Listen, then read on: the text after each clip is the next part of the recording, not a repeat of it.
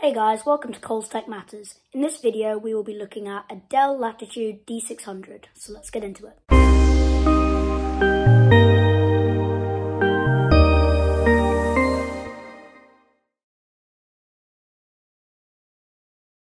Okay, here's the laptop. So I got it for Christmas, secondhand from eBay from my parents.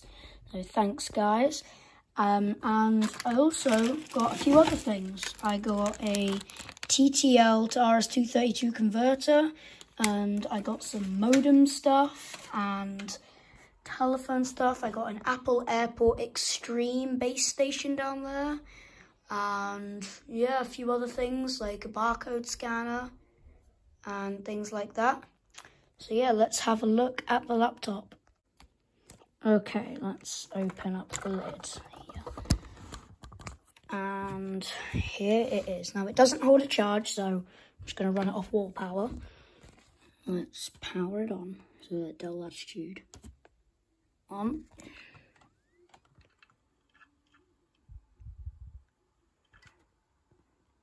Loading up. F2. Let's press that, preparing to enter setup. Um, run the setup. Now, F2. The computer doesn't have a CMOS battery in it, so that but well, yeah, that means it doesn't, it can't hold the time and date. And look, it, think, it thinks it's the 15th of December 2003. That's awesome. Uh, well, that was the last uh, thing held, I think, something. So, video memory. So, this is all of the specs. It's running a Pentium at 1.4 gigahertz. And reset the time on the computer's internal clock. The time is kept in a 24 hour format. And Entity values. Right, so yeah, this doesn't have a CMOS, so we'll X out that. And we'll run setup utility. There we go. Windows XP. Loading. And I'm pretty sure I'm going to have to run some setup stuff here. Because um, it has a fresh copy of Windows XP. At least that's what it said on the listing. Welcome. Hey, there it is. I don't know if you heard that, but, uh, okay, so I don't have to, uh, do any kind of setups. So, Windows XP. This is amazing. That hard drive doesn't sound too good. Might have got damaged in shipping, but let's have a look. What, what things have we got? Well, let's have a look at a hyperterminal. Okay, let's go down to the start menu. We'll see what we've got. I've never gone on this before, so honestly, I'm not sure what's going on, but um, let's see. How do I search stuff? This is probably painful for anybody who's already searched. Here we go. So that's how we do it. okay. What do I do? uh, search. I'm trying to search for applications. Give me one second, guys. I'm going to look it up. Okay, so we'll open up Hyperterminal here. So we'll go to the Start menu, All Programs, Accessories, Communications, Hyperterminal, and then this is the Magnum BBS. Now, I have already got set up the Magnum BBS, which is has a phone number and everything. And I have the telephone line here connected up to my ATA. So this is a voice over IP telephone call that I'm going to have to do. But I also have the 300 bits per second modem. This is from the 1970s modem video, the InMac. And I've got uh, one down there uh, connected up to my modern laptop uh, which is open in putty. And and then up here I've got my my other one, which just has a, a null modem cable going to the back of this Windows XP Dell Latitude D600. And so And with the 300 one, because it's using serial, I can then just connect it up to my uh, telephone line simulator from the video I did about that phone right there. And just connect it up with the telephone line simulator. And they are connected. As you can see, it says uh, carrier detect and on.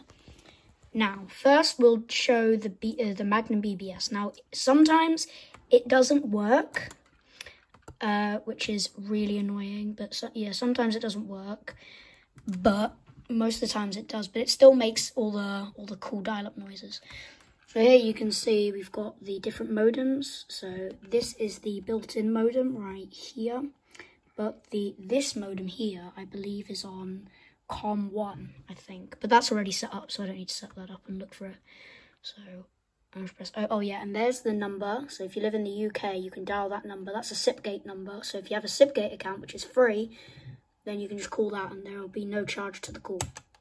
And dial.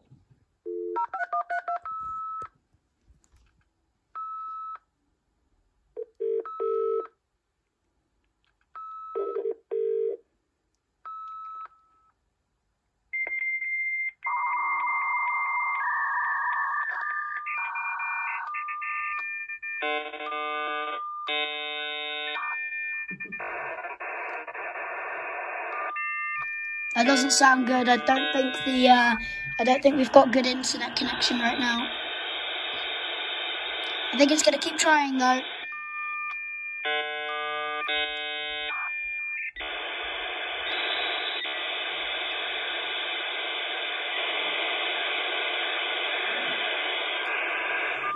Yeah?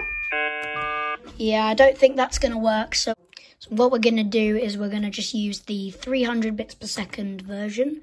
So we'll go start, all programs, accessories, communications, and hyperterminal.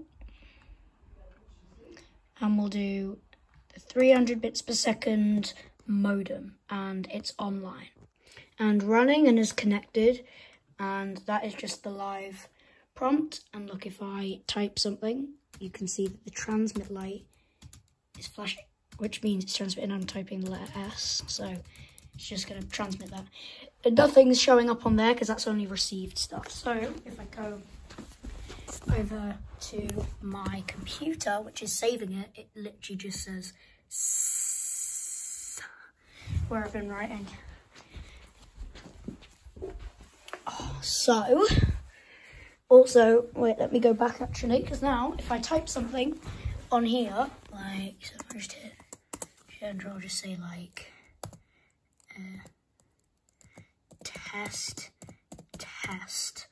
So, obviously you can't see it on the screen, but it says test, test. And then I can just write one, two, three. It's test, test one, two, three, and then it will say one, two, three. So that's the 300 bits per second modem working over serial, and that's hyperterminal. And so that's an example of hyperterminal. Now I'm going to show you uh, an application called Chicken Invaders, which is a bit of a weird name, but yeah, look, it's right there. And I have no clue. I think it might be a knockoff of uh, Space Invaders or something. I'm not sure. But let's play it.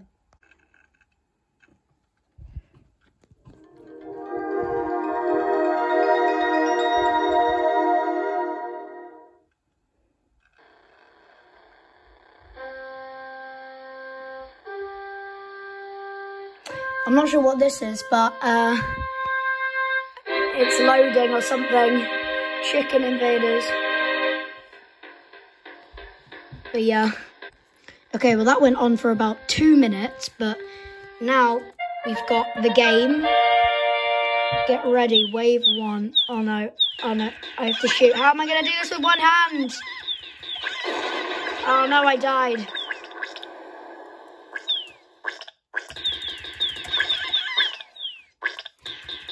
What's going I can't play this with one hand. But, yeah. There we go. that was uh, Chicken Invaders.